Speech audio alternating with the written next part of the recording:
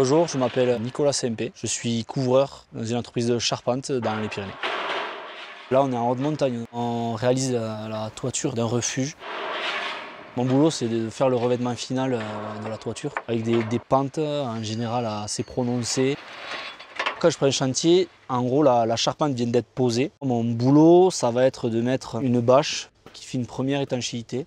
Et dessus, on va mettre du bois qui va servir à tenir notre finition. Là, c'est une toiture en inox, donc c'est un procédé de sertissage. Ça s'emboîte et une fois que c'est fait, c'est indéfaisable. Voilà, un angle. Plus ton toit va être pentu, on va, on va se tourner vers de l'ardoise. Un peu plus plat, on va se tourner sur de la tuile. Il faut être organisé. surtout ici, c'est l'extrême de l'organisation parce qu'il suffit que tu oublies un outil, tu peux avoir la semaine de foutu.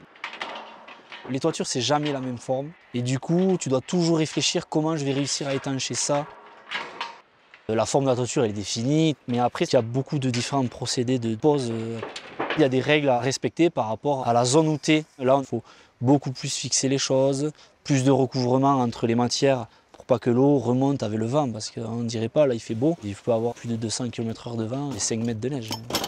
Avec euh, les dessinateurs à l'atelier, souvent on en discute. Moi je lui apporte l'aspect technique et lui il nous fait les plans.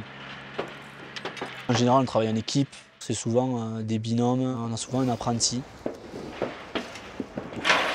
Sur un chantier, je vais être en contact direct toute la semaine avec mon conducteur de travaux. Si j'ai besoin de matériel en cours de semaine, qui me prépare quelque chose pour la semaine prochaine, si tu veux te lancer dans un métier de couverture, déjà, faut aimer être euh, dehors. Faut aimer bricoler, être agile un peu de ses mains.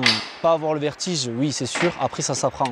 Ça devient naturel de, marcher comme ça sur des toitures. Mais il faut pas croire, maintenant, on est tellement encadré par de la sécurité, il n'y a pas de souci. La contrainte, moi, que je ressens, euh, ça va être les quelques journées de pluie ou de froid. Ça s'oublie vite dès qu'il fait beau.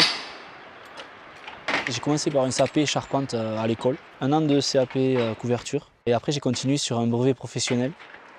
Beaucoup de gens se tournent vers des maisons bois qui vont avoir des bardages en zinc. Ça se développe énormément et du coup, il y a plus de boulot.